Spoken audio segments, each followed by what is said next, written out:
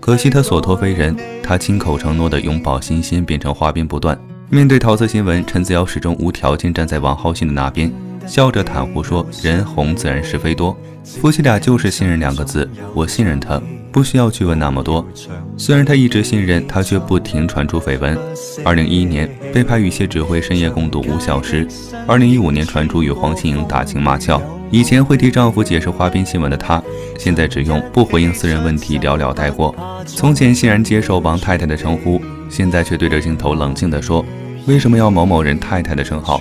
我就是我，我的名字叫陈子瑶。”我觉得点解要系某某某人嘅太太嘅称号呢？其实我咪就系我咯，我个名叫做陈子瑶。曾经满眼是你，现在不再是你，两两相望，唯余失望。那就让过往结成过往。